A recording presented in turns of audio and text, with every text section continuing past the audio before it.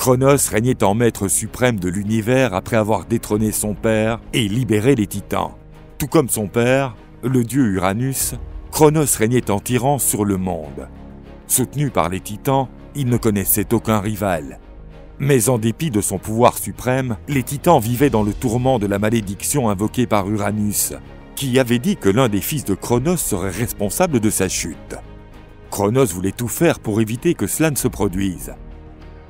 Le souverain épousa la titanide Rhea, une divinité aimée et vénérée de tous.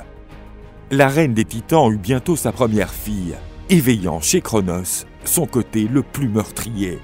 Rhea donnait naissance à des divinités qui semblaient supérieures à la génération précédente.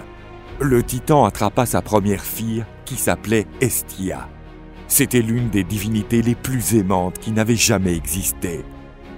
Mais dans les yeux de l'enfant, Chronos lut un terrible destin.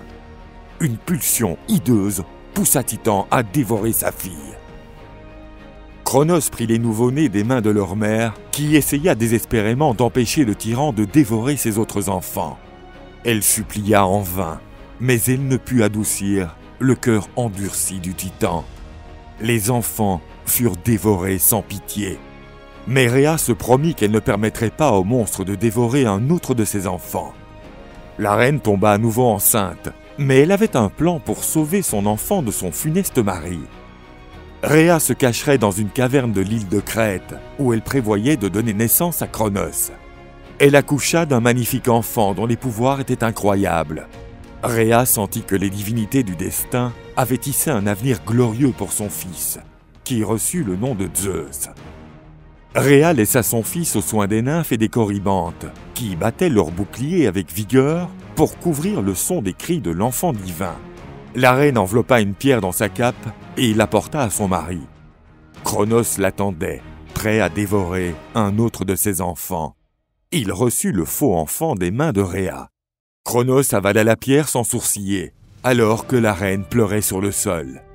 Mais cette fois, il ne s'agissait pas de larmes de tristesse, mais d'émotion, grâce au sauvetage réussi de son fils. Sur l'île de Crète, Zeus était nourri grâce au lait de la chèvre amaltée, le renforçant chaque jour.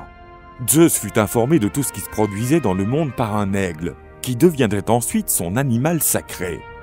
Le dieu devint une divinité puissante, prêt à suivre sa destinée. Une fois adulte, Zeus reçut la visite inattendue de Métis, une sage déesse qui lui fit un don décisif pour la suite de son parcours. Métis révéla à Zeus le terrible destin de ses frères et sœurs, emprisonnés dans l'estomac du titan. Grâce à la potion dont elle lui faisait cadeau, Zeus pourrait libérer les autres dieux. Zeus, déguisé, se rendit sur le mont Ortis, la forteresse des titans. C'est là qu'il offrit la potion à Chronos, lui assurant qu'il s'agissait d'un médilica. Chronos, se sentant invincible, ne pensait pas que quiconque pourrait lui tenir tête et comploter contre lui.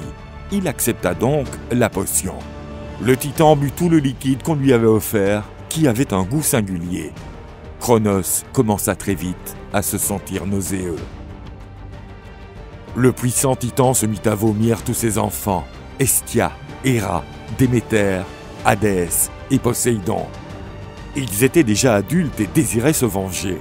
Chronos vomit également la pierre qui l'avait trompé.